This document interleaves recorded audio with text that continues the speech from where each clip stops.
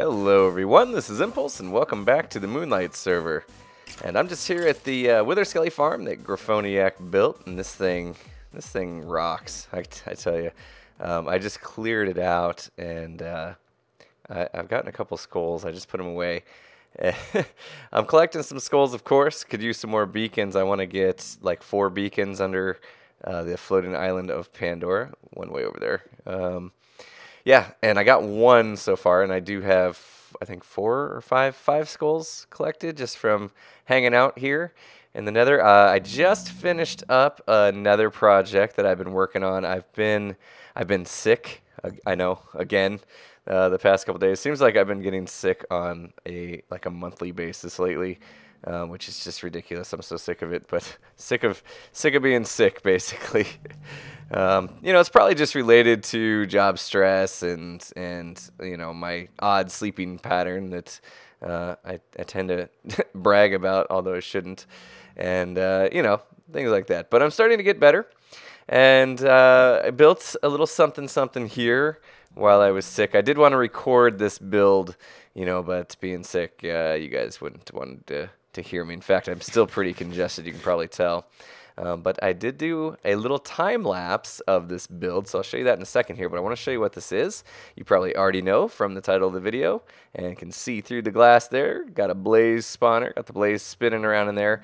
Uh, got the lava going right now to keep this thing from spawning, so it's got a little on-off switch. Uh, this blaze farm is almost entirely my design. Um, the only thing that uh, was designed by somebody else was the crusher system, and I'll show you that in a second. Um, but the rest of it is entirely my design. Been working on it for a couple months now, actually, and finally got to a point that uh, I'm pretty happy with it. And uh, you know, you'll probably get a chance to see the inner workings of it a little better in the time lapse. But let me come in here and show you how it works here. So I've got a couple switches on the wall. The first one is the on-off switch. This is for the lava. Um, we're actually going to change this up a little bit a little uh, later on in the episode. So right now it's just on-off. Lava will clear pretty quick. Uh, another lava is nice and fast. You can see them already spawning. And then the second piece here is this crusher system. Now this is crusher system is really cool. This is something that was designed by a guy named Okta, I believe is how you pronounce it. And basically with this thing on, as the blaze kind of fall through this tube, it crushes them down to one heart, and then they just all end up kind of collecting in here with the one-hit kill kind of thing going on. So let me turn that on. It'll take a second to uh, get the redstone going, and you can hear the pistons going. That's not from the crusher. That's from all the blaze being pushed down the funnel. And so there you go. See, it caught him, and it's crushing them down. And so all those guys should be a one-hit kill. Weird thing is, so we're on the uh, we're on the snapshots right now. 14W20B. Actually, this one just came out today. Um, so the the Blaze act a little funny. They kind of glitch through, uh, and I think that's just ever since 1.8 snapshots. They've been kind of the mobs have been kind of glitching through blocks again, like they used to a long time ago. Um, so every once in a while, it can cause some oddities. I'm kind of hoping that gets fixed. But uh, the reason why I kind of felt like this was the time to build this Blaze farm here on the server is also in the latest snapshots, Endermen no longer chase after Endermites. So uh, we needed a better, or not a better, but uh, a new XP farm, at least until we get the Enderman farm working the way it should be. There we go. So I got a hopper underneath the soul sand here, so all the rods are going into there. One kind of, I don't know if I got that from, from fighting up the stairs or not, but um, anyway, so yeah, you can see this thing just continually, and basically what it does is you can just stand here, you know, for half an hour or however long your your computer can handle, you know, all the, the lag that's going to be uh, happening from multiple blaze in this chamber, and then come back and, and they're all just one-hit kill, which is really, really cool. Grab the blaze rods, put them away, keep them, whatever you want to do. And yeah, it just keeps happening. Um, they just keep coming down, keep getting crushed, and they'll build up in there.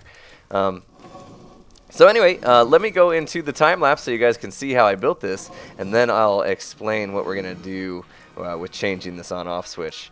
So check it out.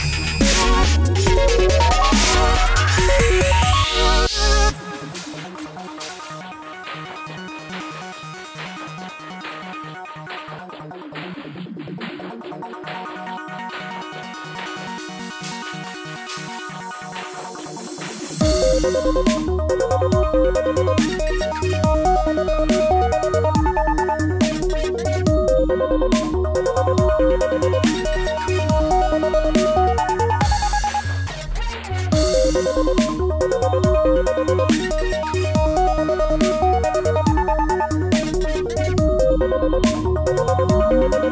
you.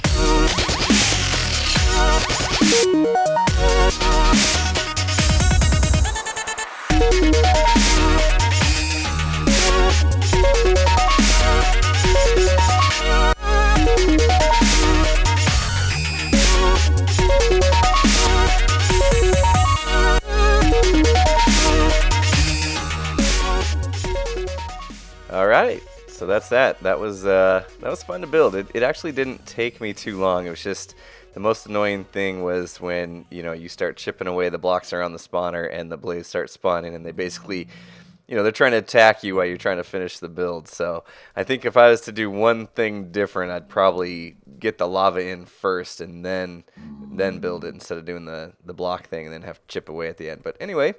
Um, like I said, I want to do something different with this.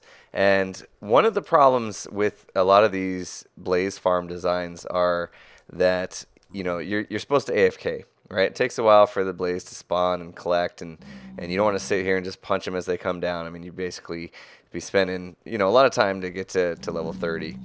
Um, so a lot of people will just you know stand here and they'll AFK. They'll they'll go away from their keyboard. They'll go have lunch um, or or whatever, and then they come back. And if they came back, you know, within 30 minutes or so, no big deal.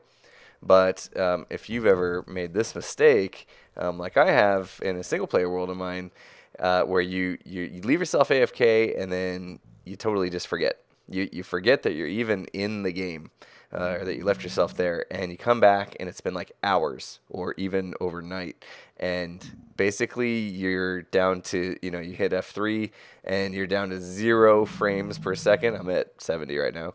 Um, you, you get down to like zero frames per second. You can't even move. You can't you can't swing at the blaze to kill them. Um, basically, you've pretty much killed your world. um, you, you have to switch into peaceful and yeah, it's it's not a good thing. So to have a solution for that, uh, or what I've done is I've come up with a solution for that, and basically um, we're gonna change this to spawner on off to AFK timer on off. And what that's gonna do is when you decide you want to AFK, you flip the switch and it will start a big clock system. And after you know X amount of time, and that's what's nice about it is you can actually set you know how much time you want it to run for, um, it will you know basically turn itself off after a certain amount of time passes by. So in order to do that, we'll go around the back here and get a little bit of redstone going. Um, it's not too, too complicated of the redstone. Uh, I just need to figure out where. Okay, so there is my, uh, basically the output. So the lever's right behind that. And we're going to be changing up a few things here. And I think I can go with just dust right there. And that's gonna see right now I just have this line hooked up to it was just basically coming around the back to a torch tower and we're gonna get blaze spotted now because I turned it off. Um, so basically that on off switch is just going through here up this torch tower all the way to the top. And uh, you can kind of see how this thing works here with these pistons pushing can you know. Right now there's nowhere for him to go because that crushing chamber is closed so we'll get this thing. In fact what I'll do is just so that this is constantly not spawning blaze while we're trying to work here, I'll turn it off. And I'll just have to remember to put that torch back. Let me go take care of that blaze real quick so we're not listening to him whine about being trapped this entire time. We'll turn that on. Yeah, yeah, quiet you. Just one? Just one of you? Oh, little guy causing all that big noise. this thing's great. This crusher system's really cool. I like it. Every once in a while you get one sneaky blaze that kind of falls through it and just misses the timings of it, but uh, it's it's pretty consistent. It's pretty good. Alright, so turn that crusher back off. Oh, whoa, hey. Lava went away again. Why? Why? What happened? We'll go see. What did I do? I did something wrong.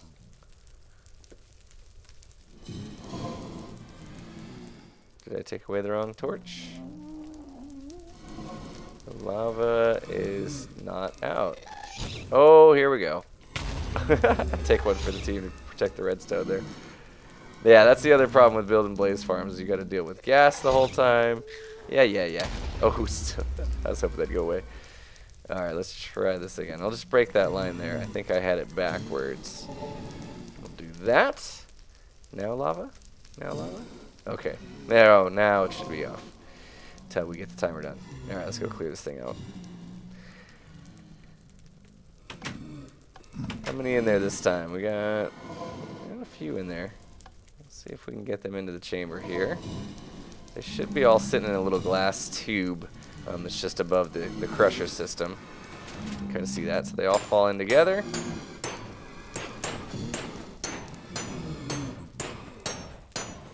And the other cool thing is they don't ever get hurt on their way down. A lot of the other uh, blaze systems, the piston pushers will actually hurt a few blaze here and there. Uh, the one that I've designed here does not. They all have equal damage values coming into that crusher chamber. Ooh, I don't want the crusher going the whole time. Man, struggling. work, brain, work. All right.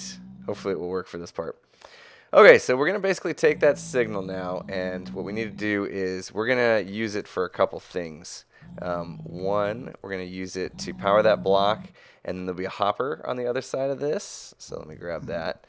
And by doing that, it's going to basically stop the, the hopper from putting items back into this dropper here. So let's see here. Um, if an item gets put into this hopper, you can see here it doesn't drain. So as long as the AFK timer is on, is that right? On? Is that where we left it? Yeah, we left it on. See how the switch is down? That will be on. And then the items in this hopper won't drain back into the dropper. And that's going to be part of the timer system. Um, so we also need to do a uh, off switch for the timer system. Right here, we'll basically invert the signal. Oh, need a little more space underneath this. Didn't did not see that netherrack there. All right, and then we'll run a little bit of redstone over.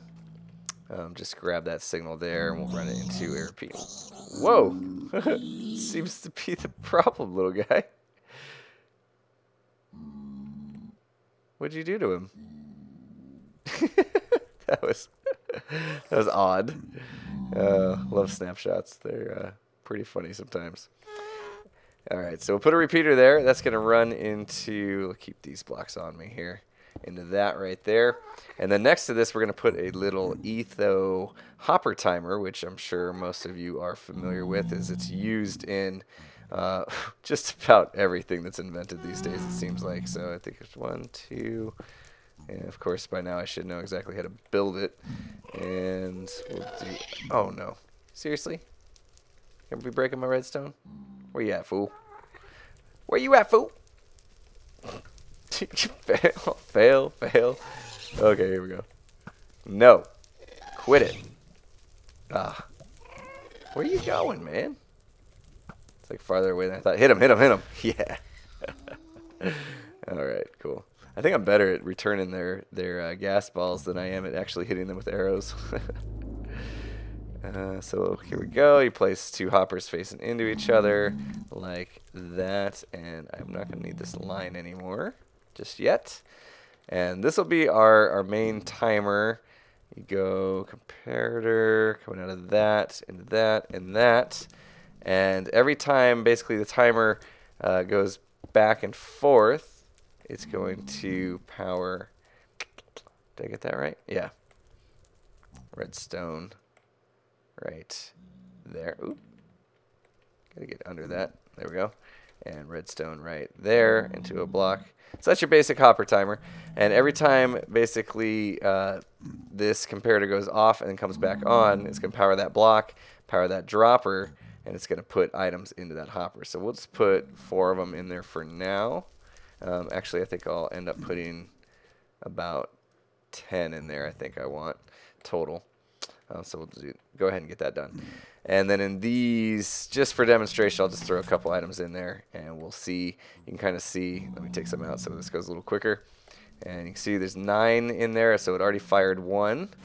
And eight now, because it fired again. So it'll go back, and then when, as soon as it comes back the other side, it'll fire another one.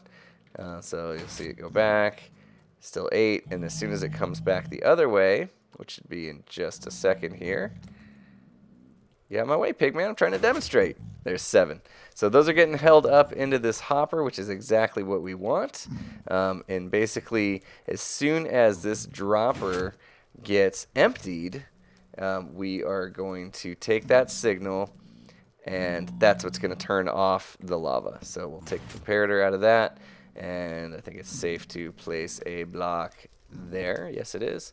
And then this will be our we've got to invert that signal.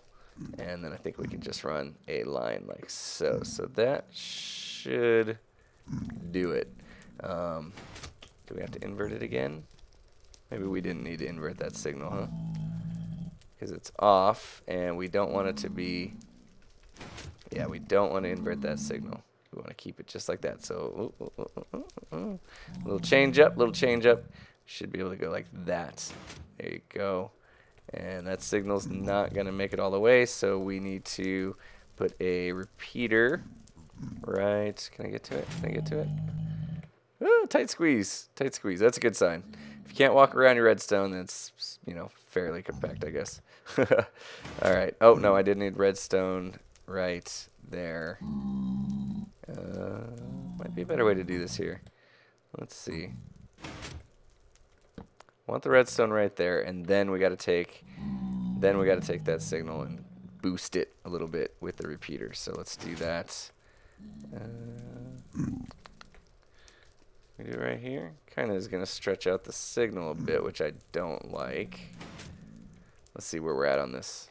See where we're at.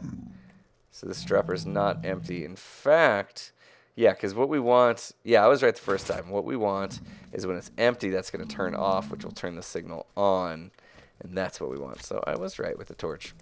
I was right. I just, you know, forgot what I was doing. Typical. I think we go like that. And now, as soon as that gets completely emptied, then we can take away this torch here. Take away this torch. Hmm. Now I feel like I'm backwards again. Because it just turned off the lava. So yeah, I think I I think I did I did mess that back up, didn't I? Oop. You hear him spawning.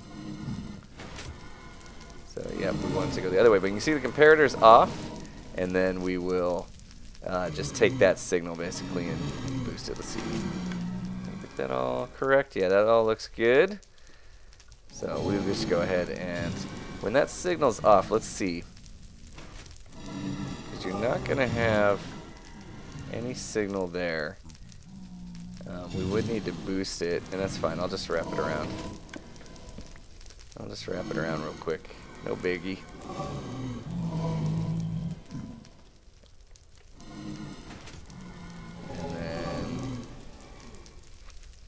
Now it's on. See that? And so as soon as there's items in the hopper, uh, that will, or in the dropper, that will go ahead and turn that back off. Okay, okay. We're back on track. Back on track. Let's go test it out. Okay. Turn that uh, off so the AFK timer is off, which means it should just be, yeah, clearing up there, running as normal. So now it's basically just a normal normal blaze farm and we'll bring these guys through Let them get crushed. And we'll go back out here and see what happened to the items in the dropper. Do kind of all over the place right now, but uh, we'll get it. We'll get it. All right, so you can see the 10 items are back in the dropper. Um, that's because when we turn that off, basically uh, turned off the AFK timer, that redstone's no longer powering this block, which is no longer stopping that hopper from keeping the items, so they all get to flow back, so that kind of resets the timer. Um, and then the other thing is, you know, I don't want this this uh, this clock going the whole time. So that's why we ran this line here, and so that keeps the clock from running because um, it's powering this block, which holds that piston out, which keeps this dropper or hopper from uh, transferred items back, so they all get stuck in there. And so I think it's uh, about four minutes and 20 seconds, or uh, that's four minutes and something um, for each. If, if you load these up, item hoppers, Someone can correct me if I'm wrong, but um, what I'm going for is, is I know that my computer can handle about uh, 40 minutes worth of Blaze collection. I think it gets to about 150 entities, and I'm pretty sure most of the other server members have that as well. Um, probably won't load it up completely, so we'll keep it at about two minutes, two and a half minutes maybe. If I if I put about half, just over half, maybe three stacks of items in here. Um, probably should do the math, but uh, we'll figure it out there. And then so times 10 is what this is going to do. So we'll put about two and a half minutes times 10.